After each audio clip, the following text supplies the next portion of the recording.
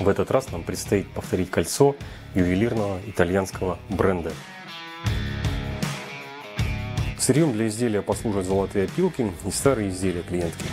На примере образца вы видели, что украшение – это сборка нескольких плоских шинок. А значит, мы должны прогнать слиток до тонкого проката, из которого и выпилим составные части изделия.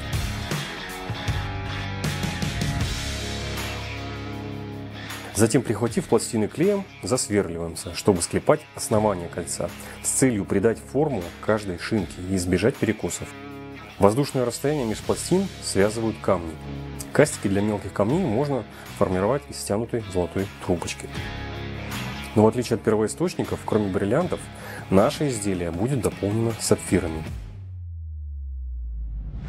Конечный результат и подробный ход работы в полнометражном ролике на моем основном канале